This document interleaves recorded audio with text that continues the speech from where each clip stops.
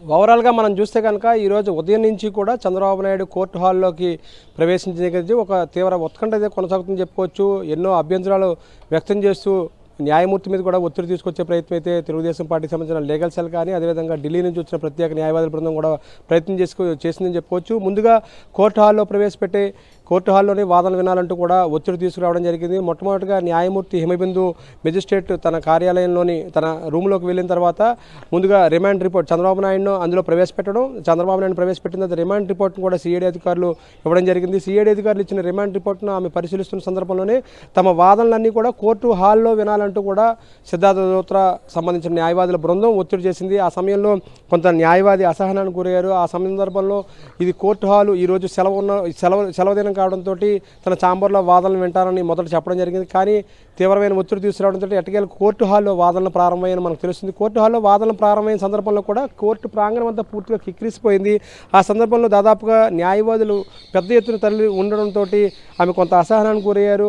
చంద్రబాబు నాయుడు తరపు నుంచి వాదించడానికి వచ్చిన న్యాయవాదులు కానీ వారి కుటుంబ సభ్యులు కానీ మొత్తంగా పదిహేను మంది. అదేవిధంగా ఇటువైపు ప్రభుత్వం తరపు నుంచి ఎవరైతే ఈ సిఐడి సిట్ సంబంధించిన అధికారులు కానీ న్యాయమూర్తులు న్యాయవాదులు కానీ వారందరూ కూడా మొత్తం ముప్పై మంది దాటి కోర్టు హాల్ పట్టే అవకాశం లేని నేపథ్యంలో ముప్పై మందికి అవకాశం ఇస్తాను మిగిలిన వాళ్ళందరూ కూడా స్వచ్ఛందంగా బయటికి వెళ్ళిపోవాలని ఆమె మొదట కోరడం జరిగింది. ఈ నేపథ్యంలోనే మొత్తం న్యాయవాదులందరినీ కూడా బయటికి పంపించిన తర్వాత చంద్రబాబు నాయుడు తరపు నుంచి దాదాపుగా ఒక పదిహేను మంది అంటే ఇదే కోర్టు ప్రాంగణంలోనే ఉదయం తెల్లవారుజాము నాలుగేళ్ళ నుంచి కూడా లో లోకేష్ ఉండి ఇక్కడే మొత్తం అంతా డైరెక్షన్ చేస్తున్నారు. ఓవరాల్గా ఇక్కడ న్యాయ న్యాయవాదులతో మాట్లాడుతున్నారు. ఢిల్లీ నుంచి స్పెషల్ ఫ్లైట్లో తీసుకొచ్చిన సిద్ధార్థ లోత్రా బృందంతో మాట్లాడుతున్నారు. వారందరినీ ఇక్కడ వారితో ఉండి ఏ విధంగా ఈ కేసు నుంచి బయటపడాలి ఈ కేసు నుంచి ఏ విధంగా తప్పించుకోవాలనేది చర్చలు జరుపుతున్నారు. ఈ నేపథ్యంలోనే అక్కడ నారా లోకేష్ అదేవిధంగా భువనేశ్వర్ కూడా కోర్టు హాల్లోనే ఉన్నట్టుగా తెలిసింది మొత్తంగా పదిహేను మంది అవకాశాలు ఇచ్చారు. ఆ తర్వాత ఇటువైపున అంటే ప్రభుత్వం తరపు నుంచి ఇక్కడ సిఐడి అధికారుల బృందం తరపు నుంచి సిటీ అధికారుల బృందంతో పాటు ఈ కేసు దర్యాప్తు చేసిన అధికారులు అదేవిధంగా ఎవరైతే అంటే ప్రభుత్వం తరపున అదనపు అడ్వకేట్ జనరల్ పొన్నవాళ్ళు సుధాకర్ రెడ్డి వీరందరూ కూడా కోర్టు హాల్లో ఉన్నట్టుగా తెలిసింది వీరు మొట్టమొదటిగా రిమాండ్ రిపోర్ట్ ఇచ్చినది. రిమాండ్ రిపోర్ట్ మీద అసలు దీనికి ముందే మెమో ఒకటైతే జారీ అంటే మెమో ఇవ్వడం జరిగింది. ఇది అక్రమ అరెస్టు ఇరవై నాలుగు గంటలు దాటిపోయింది. అర్ధరాత్రి ఒంటి గంట ప్రాంతంలో అరెస్ట్ చేశారు. ఇక్కడ తీసుకురావడానికి ఈరోజు ఉదయం ఆరు గంటలు ప్రవేశపెట్టారంటే ఇరవై నాలుగు గంటలు దాటిపోయింది కాబట్టి మొత్తంగానే దీన్ని పూర్తి స్థాయిలో రిజెక్ట్ చేయాలంటూ కూడా మెమో దాఖలు చేశారు. ఏదైతే మెమో దాఖలు చేశారు తెలుగుదేశం పార్టీ లీగల్ సెల్ దాఖలు చేసిన మెమోని న్యాయమూర్తి రిజెక్ట్ చేయడం జరిగింది. అదేవిధంగా మరోవైపున మనం చూస్తే కనుక ఈ పూర్తిగా అంటే ఇది చాలా పెద్ద ఎత్తున ఒక ఆర్థిక నేరం అంటూ కూడా రిమాండ్ రిపోర్ట్లో పేర్కొనడం జరిగింది. రిమాండ్ రిపోర్ట్ దాదాపుగా ఇరవై ఎనిమిది పేజీల రిమాండ్ రిపోర్ట్ను కోర్టులో సబ్మిట్ చేయడం జరిగింది.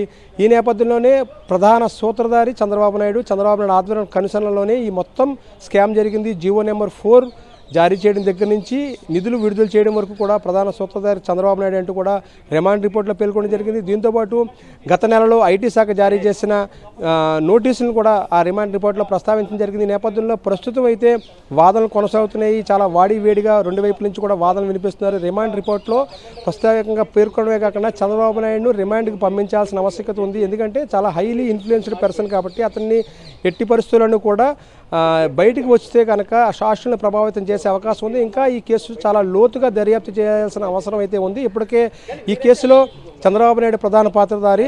ఆ తర్వాత మనం చూసుకున్నట్టయితే కనుక అతని పిఏ పెండియాల్ శ్రీనివాస్ ఇప్పటికే విదేశాలకు పారిపోయారు. ఎప్పుడైతే ఐటీ నోటీసులు జారీ చేసినట్లుగా ఆగస్టు నాలుగో తేదీ నాడు ఐటీ నోటీసుల తర్వాత అతను ఇక్కడి నుంచి పారిపోయినట్టుగా కూడా మొత్తం చెప్తున్నారు. ఈ నేపథ్యంలో మొత్తం వ్యవహారాన్ని మనం పరిశీలిస్తే కనుక ప్రస్తుతం అయితే వాదనలు కొనసాగుతాయని చెప్పుకోవచ్చు. మరోవైపున ఫోర్ జీరో నైన్ సెక్షన్ మీద కూడా తమ వాదనలు కొనసాగిస్తున్నారు.